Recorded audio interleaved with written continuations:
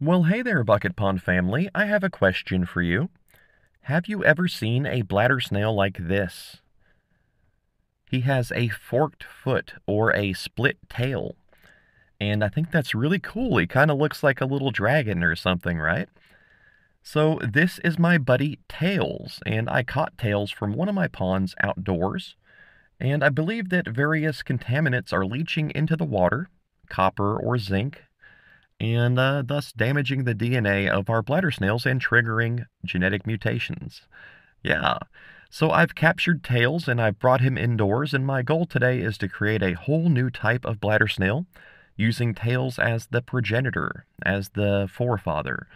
And uh, we want to get Tails to produce a bunch of eggs, and hopefully we'll see some with that split tail mutation.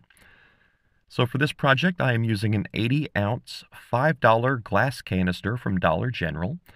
This is a great size for a small population of bladder snails. And uh, we'll be putting Tails in here by himself and hopefully triggering self-fertilization and giving us a whole wave of two-tailed offspring, if we're lucky. For this build, I'll be using some sea glass, which is beautiful. I've never used it in a jar aquarium before. And I'm also using some fluval stratum, which is a volcanic soil, I believe, from Japan. These materials are very new to me and they are somewhat expensive. I'm not used to working with such fancy stuff. But we've grown a lot lately and that has increased our bucket ponds budget a little bit. So we can afford a little bit of this stuff, you know, once a year. So my buddy Wheelbite did uh, notify me that this fluval stratum stuff here, this aqua soil, needs to be rinsed very heavily several times or else it will make a mess of your tank. And so I did rinse it quite a few times, but I don't think it was enough. And I'm not going to use a whole lot in this build because uh, really I'm just adding this for the plants and uh, for some worms that we're going to add in, into this build later. Uh, but this stratum stuff here, this aqua soil, should add quite a few nutrients to the water and should kickstart our plants. And you'll see why that's important here in a little while. Now, I should probably cap this off with the uh, sea glass, but I don't want to do that because that sea glass is really expensive and I don't have a lot of it on hand. So we're just going to experiment with uh, a few pieces here and there. It's not sharp and it is entirely aquarium safe. It's inert in the water. And I'm going to add a seashell in here as well. This is a scallop shell, which has no paint or glaze on it. And I get these for really cheap. And that aqua soil is going to make the water somewhat acidic.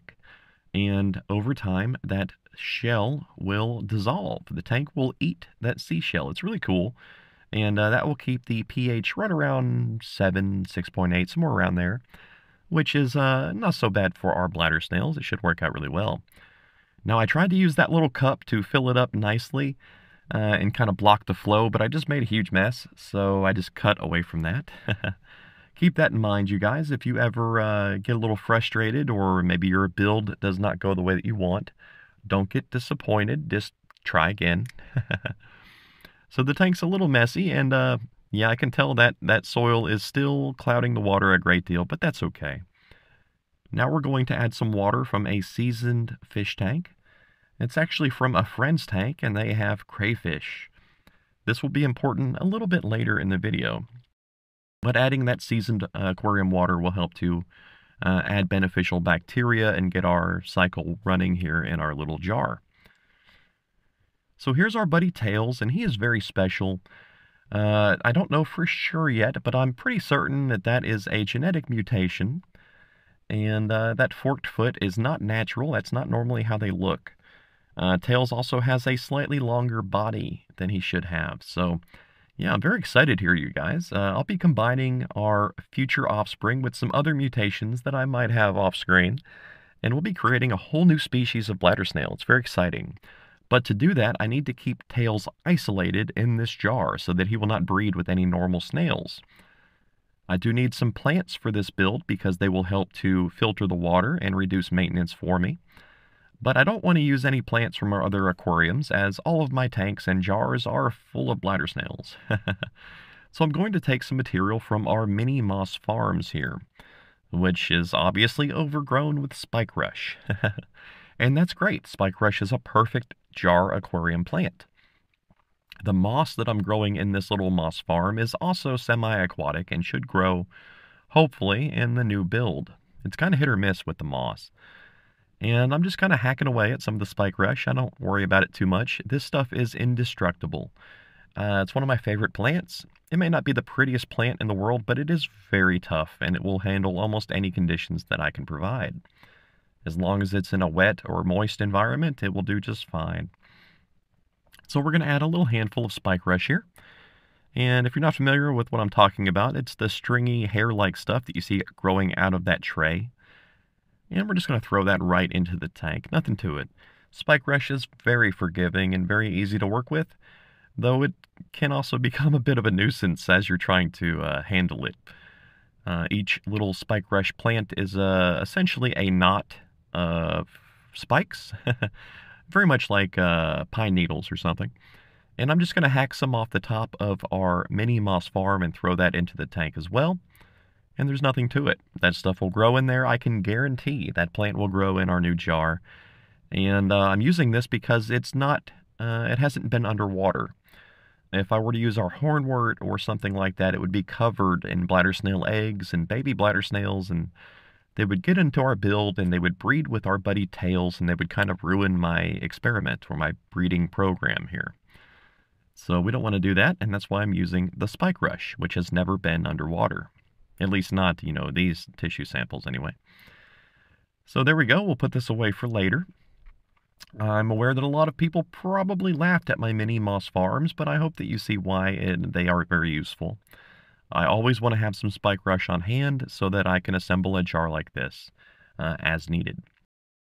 So this jar on the left is from pool pond number three, where we caught some very interesting worms. And, uh, you know, along with those worms, I wanted to throw some bladder snails in there because, you know, they're just important parts of my ecosystems. But I didn't happen to catch any from that pond, so I took some from the patio pond, which you may remember. And I believe the patio pond has been uh, infected by a little bit of construction debris, probably some zinc coated screws. And that zinc has leached into the water and has begun to affect our bladder snails and I believe that's where these uh, mutations are coming from. If you look closely at the snails in the jar on the left, you will see some very long bodies and some interesting structures here and there. Tails is in there somewhere. I haven't yet captured him. Uh, but right now I'm just taking some of the worms from the bottom. Uh, these are very much like black worms, which you may be familiar with. I believe there's some kind of Tubifex worm. And we're just going to carefully inject a few of them down into the bottom of our tank we will most likely not see them very much, and uh, that's fine. As long as they're in there chewing up any debris or detritus and making fertilizer for our plants, basically, uh, then they're doing their job, and that's all that matters. I also just want to get some worms started in some other tanks, so this is a good opportunity. And now we are looking for our buddy Tails. He's in here somewhere. Uh, we just have to watch them for a minute and hopefully he will come scooting by. so these snails in here, they do have very long tails or very long foot. I'm not sure, uh, feet, I guess. But I did manage to catch tails here with my little shovel very carefully, you guys, and I uh, was very careful to acclimate him slowly to this project. Uh, I didn't just throw him in there. I kind of let him crawl off of the shovel when he was ready. And there he is exploring his new kingdom. Now, it might seem cruel to keep a bladder snail by itself, but many of you will know that one bladder snail can create an army. They can breed up a whole population on their own. And many people think that these snails are self cloning, like some infamous crayfish and things out there in the world. But uh, these snails are actually hermaphrodites. They are both male and female and they are able to impregnate themselves, which is really interesting. But uh, they they resist the urge to do that. Uh, typically, a bladder snail will breed with another bladder snail immediately, but when isolated like this, they will wait uh, upwards of a month or two before they begin to self-fertilize. And here we are, day two. The tank is looking good. And uh, all I was saying there was that eventually Uh, they will fertilize themselves and they will create some offspring, but they don't want to do that because these offspring are going to be inbred. They're going to be really special. You could imagine two identical twins having a baby together, and you could see all the different uh, negative health effects that would, you know, that baby would have to deal with. Uh, but that's what we're going to do here with Tails. He's basically going to be the mother and father of our future two-tailed offspring, if we're lucky. So right now I'm going to feed Tails with a little bit of Tetramin Tropical Fish Flakes. I'm adding a little too much, honestly. I'm going to overfeed the tank a bit. And that's because bladder snails, they don't really have thoughts like we do. They just respond to stimuli. So we are providing the stimuli. We are telling Tails certain things. We're telling him, hey, you're alone in your aquarium. There are no other snails in this pond. And if you remember, we added some crayfish water early in the build, and I've added a little bit more here and there for my friend. And uh, that water, that scent in the water of crayfish, that's telling Tails that, hey, there's predators here. And now we're adding a fair amount of food as well. So as far as our little buddy knows, there's a lot of food, there's a lot of danger, and there's no other bladder snails around. These different effects will help to trigger our self-fertilization effect that we are uh, we are looking for. This will also help to accelerate the self-fertilization uh, ability that these snails possess. So if all goes well, Tails will be in here, and eventually he'll just go ahead and lay some eggs. He'll be both the mother and father of these future eggs, and I'm very, very excited to see that happen, you guys. Um, I was going to wait to upload this video until I knew for sure uh, that we had, you know, spawned a whole new type of bladder snail, but I want to build some suspense. I want to get you guys into it, and I want you to feel what I'm feeling right now. I'm so excited. I'm just eagerly waiting. I'm looking at his tank every day, looking for some new friends. And you may know from different videos I've produced over the years that I have toyed around with the idea of exposing our snails to mutagens. I've joked about it and talked about it a bit here and there. You know, with the goal of creating mutations to, to make better bladder snails. If I can improve their mutate their their genetics, if I can make them more interesting, maybe people won't be so likely to smush them or to hate them, you know. And that's the goal. And I just think it's so cool that we actually have exposed them to some mutations, some mutagens on accident. So here we are on day six, day seven. And yeah, it looks like Tails made a buddy. I have no idea how this other snail got in here. The whole thing, the whole goal here has been to isolate Tails, to build him his own little aquarium with no other bladder snails. I was so careful, and somehow this other guy made it in here anyway. It's very possible he might have crawled into the tank from a nearby aquarium. I'm not sure, honestly. Uh, my friend Clay suggested that we name this snail Sonic, so that we have Sonic and Tails. Uh, but Sonic here, our little buddy on the right, we're going to remove him. Hopefully he hasn't been breeding with Tails, though they are bladder snails. They've probably been breeding like mad. And this may affect my experiment. We might end up with a wave of offspring that are completely normal. We'll to wait and see. But I will be removing our little buddy Sonic here and putting him in a different tank. I don't know where he came from. He doesn't seem to show any of the mutations that I've been seeing lately. So we're just going to, you know, scoop tails out and put him in a nice little Daphnia culture off screen and uh, let him live out his life. There's a good chance that he might have been impregnated by tails. And, you know, he might have some two-tailed babies of his own. So we'll just have to wait and see. If this is a genetic mutation, I don't know if it's recessive, if it's dominant. I have no idea. So we're learning as we go here with the best way that I know how without any lab equipment or anything like that. So we're just going to remove our little extra friend here. And if nothing else, this is a good chance to compare tails against a regular bladder snail. You can see there are quite a few differences. And uh, you might be saying, oh, hey, that's just a different type of snail. Well, yeah, it's a bladder snail with some heavy mutations. I challenge you to find a picture of this guy online and to give me an identity of a different type. You know, give me a species ID. You can't because this is a new animal. You might see other pictures of two-tailed bladder snails out there in the world. It does happen, though it's very rare. So I'm going to scoop out our next, or our new little friend, and I'm very careful not to hurt them. I don't want to hurt our snails. And you know, guys, I'm actually pretty good with bladder snails. They are like kind of my specialty. I love them. I think they're amazing. They're the whole reason I created bucket ponds is because I found an aquarium one day with some bladder snails in it. And that's where I came from. That's that's where this whole thing began.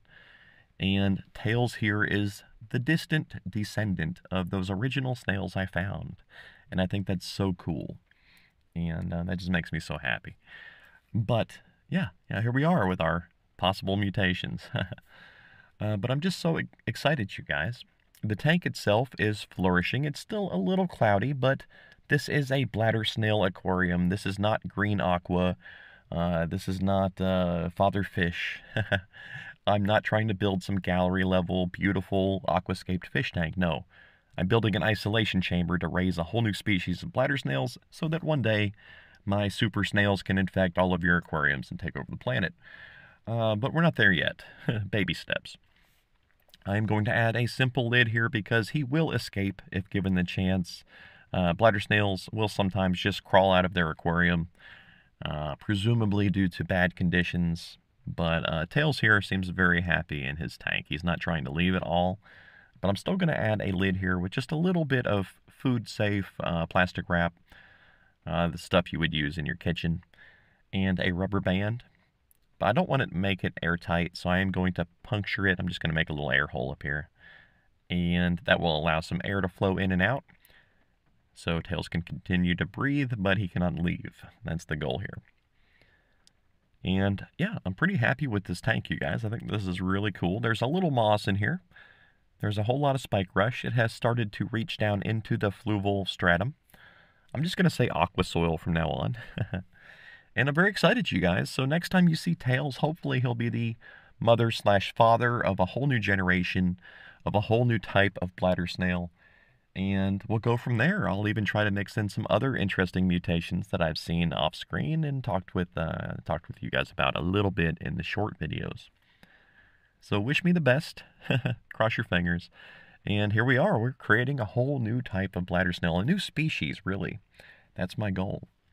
So big thank you to my YouTube members and Patreon supporters. Without you guys, none of this would have been possible. The pond that Tails came from was built with money that you donated to the channel. And uh, I think that's so cool. It's not all about the money, it's just about the support. And I really love our uh, intimate conversations we have in the members only area.